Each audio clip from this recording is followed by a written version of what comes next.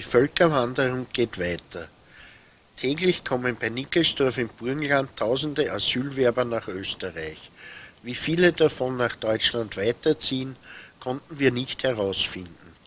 Die Salzburger Polizei gibt an, es nicht zu wissen, und wir sollten uns im Innenministerium erkundigen.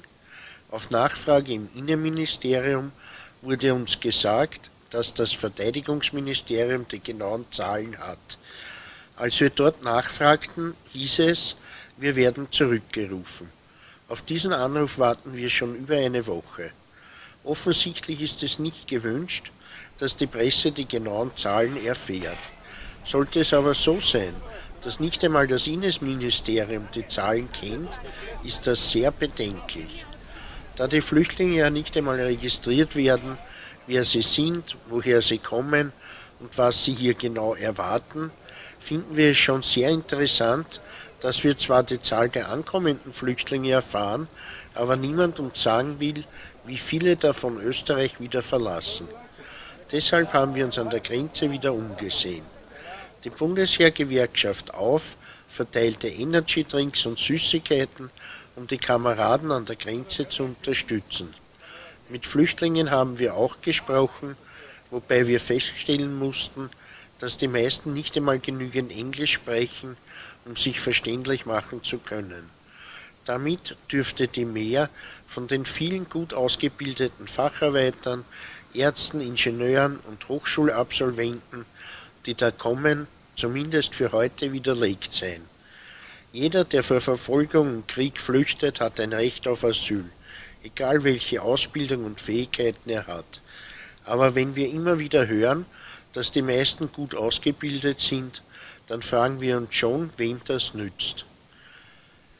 Wir haben auch versucht, mit den Flüchtlingen zu reden. Die Fragen waren, woher sie kommen, nach den Gründen ihrer Flucht und welche Erwartungen sie in Europa haben.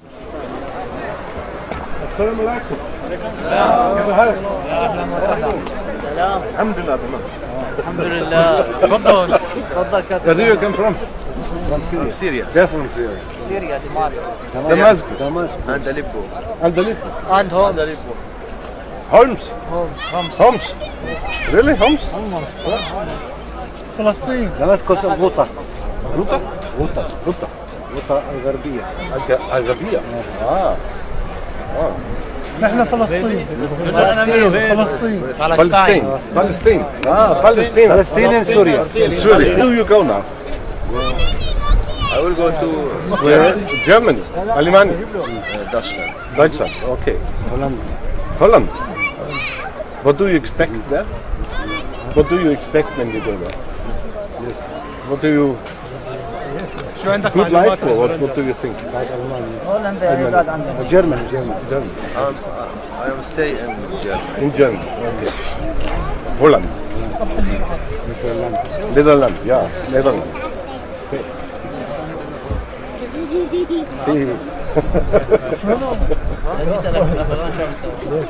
Good. My family is uh, ماهر The family is in Netherlands? ماهر Familie is in Netherlands. ماهر حكيت له عنك It's cold, huh? yeah very cold Very cold. freeze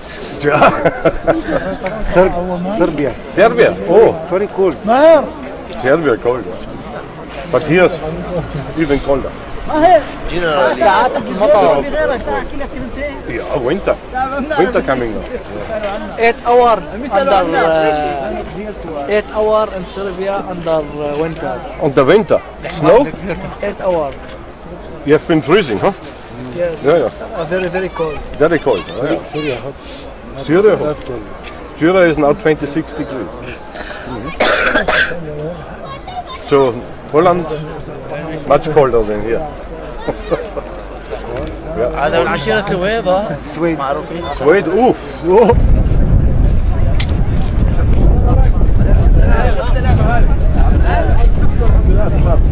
Uh, you speak English? yes Who is good English speaking? Good. Who speaks English good? Good way. Good way, no? I I have some questions. Come here. You, you, you speak English? Okay. No, no, no, no. Nobody speaks English. Of course. Where do you want? Where. Where do you want to go? Vienna. Vienna. You want to go to Vienna? Yes. To stay in Vienna, or you want to go further away? No, no, no. What, the German. Germany, yes. Germany. Germany and Sweden and. Uh, Germany and Sweden. Family Vienna. Family You want to stay in Vienna? Go, go trip uh, Germany. You go to Vienna and you go to Vienna. Vienna. Family Vienna. Who is family? All of you? Gottlieb. Vienna. Okay. Gottlieb This is wife, Yes, yes. wife, Fa- mother, Madame, father. madame. Ma- mother, Mother, father, father. and do- son. No, I, I am sister. Ah, okay. And she's daughter? Ah, okay. And husband? Ah, okay. Good. How many children? Five. Five. Five children. Ah, okay. Kamsa. okay. So you you stay in Vienna. TV, TV, no? TV? TV? It's, it's, CCM. CCM My name, my name. What is your name, my name? My name is Bull. What is your name, TV? MTV is internet TV. Internet. Yeah. My name is Sheba. Sheba. Tại sao như vậy? Tại sao vậy? Vienna Bye, check, bye. Vienna very good. Check, bye, bye. Vienna better than Germany. Vienna very good. Germany cold. Oh, Germany. Sweden, uh, ice. Sweet cold. Sweden very cold. Scandinavia very cold. Winter. Yes, yes, yes. Swiss, no? Switzerland like Austria. Same, same, same. Tapos, sao như vậy? Vậy? Holland. Holland good, good.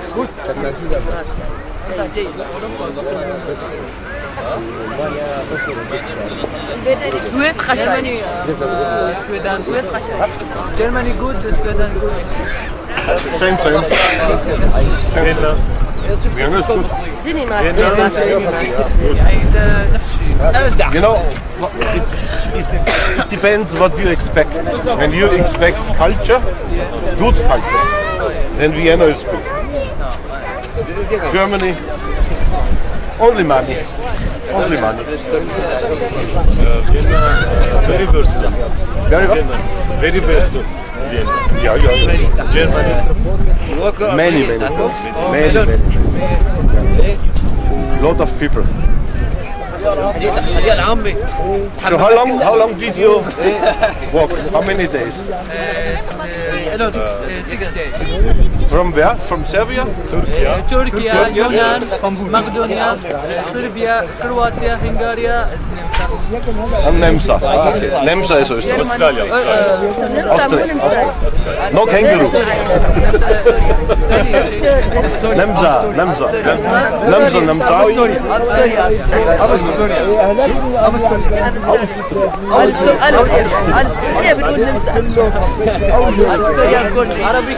Ja, die auf und, die, und ich, Carmen Schimanek als Fre Abgeordnete der Freiheitlichen Partei, haben heute am hier in Nickelsdorf einen Lokalaugenschein gemacht.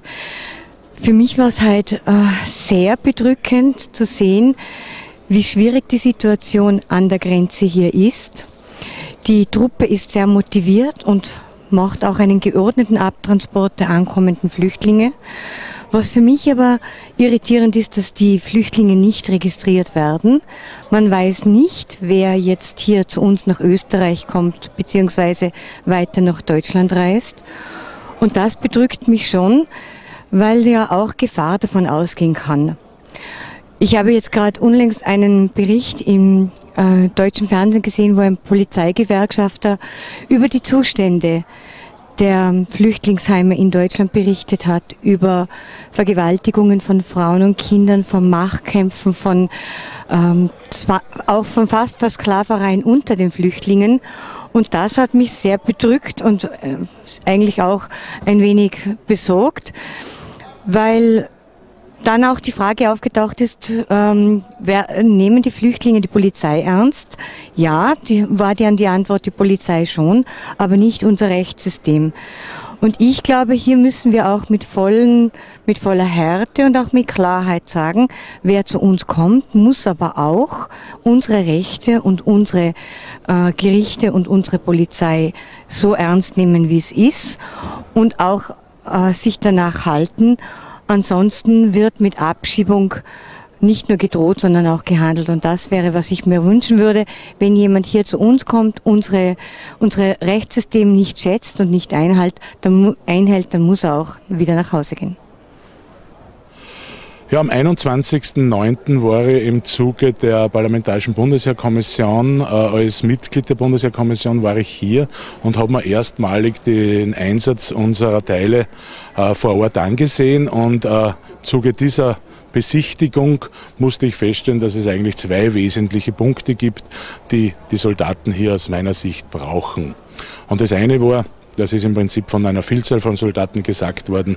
Sie brauchen ein bisschen eine Zusatzverpflegung zu dem, was das Heer äh, leistet. Und so sind wir heute eben hier vorbeigekommen und haben Energy Drinks und uh, Knappereien und Süßigkeiten vorbeigebracht.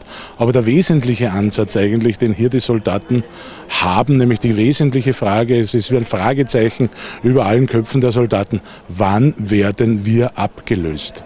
Und das ist eigentlich der, der Hauptgrund, den es, oder der Hauptaufgabe, den wir jetzt als Bundesheergewerkschaft, aber auch Personalvertretung hier in Anspruch nehmen sollten oder in Angriff nehmen sollten. Wir müssen jetzt Druck ausüben auf die hohe politische Führung, den Bundesminister Klug, aber auch auf den Generalstab, damit der jetzt endlich Nägel mit Köpfe macht und zumindest einen Zeithorizont da eindeutig klarlegt, wann wird hier abgelöst. Da bedarf es natürlich einer dementsprechenden großen Vorbereitung. Es äh, geht um die Frage, wird es die Miliz sein, werden es Rekruten sein? All diese Dinge sind jetzt noch fertig in der Planung abzuschließen, aber die Soldaten hier, die eine ausgezeichnete und wirklich vorbildliche Leistung erbringen, äh, die nicht nur unterstützen die Kollegen von der Polizei, sondern einen Großteil ihrer Arbeit mehr oder weniger abnehmen, die haben jetzt das Recht, dass ihnen gesagt wird, wann ihre Ablöse stattfindet. Und sei es Ende Dezember, sei es Ende Jänner oder Ende Februar. Aber der Soldat muss wissen, wann er in die Ablöse kommt, weil auch er Mensch, Staatsbürger ist hier in Österreich, Familie hat und auch Familienplanungen durchzuführen hat. Und diese Chance muss ihm die Politik geben, diese Möglichkeit muss ihm die Politik und der Generalstab geben. Und das ist mein großer Appell jetzt an die Herren der politischen, aber auch der Generalstabsführung. Und in diesem Sinne verlassen wir jetzt dann unsere Kameraden hier an der Grenze und werden uns schon überlegen, sollten sie zu Weihnachten noch da sein, wie wir sie im Prinzip mit einem einer Überraschung, einer Weihnachtsüberraschung mehr oder weniger dann so am 24. Dezember herum wieder überraschen können. Also ich glaube schon, dass uns da etwas einfällt, dass wir heute auch oder dass Sie auch sehen, dass wir von der Bundesheergewerkschaft und von der Personalvertretung auch in Krisenzeiten und sprich auch in Einsatzzeiten hier an Ihrer Seite stehen und wir Sie nicht vergessen und nicht alleine lassen. Wir, die Personalvertretung, sind ja ständig in Kontakt mit unseren Bediensteten. Ich war erst letzte Woche unten in Heiligenkreuz. Äh, die Bediensteten geht es soweit gut. Sie sind toll vorbereitet für diesen Einsatz. Ähm, es gibt natürlich Anliegen der Bediensteten, äh, die, die unterschiedlich sind. Äh, aber das größte Anliegen, das die Bediensteten haben, ist der Ablösetermin. Es ist nicht schlimmer für einen Soldaten, wenn er nicht den Zeitpunkt der Ablöse erfährt. Und das ist jetzt äh, die Forderung von uns, dass wir äh, an den Minister herantreten werden, äh, dass er einen Ablösetermin für diese eingesetzten Kräfte jetzt einmal vorgibt. Damit die Leute auch, also die Bediensteten auch mit ihren Familien äh, planen können, wann die Rückkehr ist, wann die nächsten Kräfte eingesetzt werden. Das ist jetzt einmal vorerst das Wichtigste. Der Einsatz läuft ähm, nach Auskunft unserer Bediensteten ruhig, besonnen runter. Es ist äh, für uns, fürs Militär, äh, sind solche Einsätze kein Problem. Das, äh, das ist, äh, eine, wird zur Routine, wie auch der letzte Assistenzeinsatz äh, Routine geworden ist. Aber wir müssen auch jetzt versuchen, endlich äh, äh, Vernunft, die Politik herzustellen, dass wir unsere Grundwehrdiener äh, wieder dementsprechend ausbilden, sie auch hier einsetzen zu können. Es ist eine weitere Forderung von uns, äh, den Grundwehrdienst wieder auf acht Monate anzuheben, denn nur so ist gewährleistet, dass wir auch die dementsprechende äh, Mannesstärke äh, zusammenbringen, weil die kolportierten 12.000 Mann, die ständig im Einsatz sein können, die gibt es in Österreich derzeit nicht. Die gibt es nur dann, wenn wir unsere Rekruten äh, mit einbeziehen. Die werden aber nicht mit einbezogen, weil der, die Order von ganz oben gekommen ist, keine Grundverdiener für diesen Assistenzeinsatz. Daher müssen wir äh, die Forderung stellen, Anhebung des Grundwehrdienstes auf acht Monate und sofort beginnen mit der Ausbildung für diesen Assistenzeinsatz, dass wir regelmäßige Ablösen hier machen können, weil nach Einschätzung äh, wird dieser Einsatz äh, nicht vor Weihnachten enden. Wahrscheinlich wird es auch das ganze nächste Jahr äh, andauern und wir wissen nicht, wie lange dieser Einsatz dauern wird. Wir können uns noch gut zurückerinnern an unseren letzten Einsatz in den 90er Jahren, wo gesagt ist worden, äh, nach vier bis acht Wochen ist der Einsatz beendet und wir waren dann schlussendlich über 20 Jahre im Assistenzeinsatz. Danke.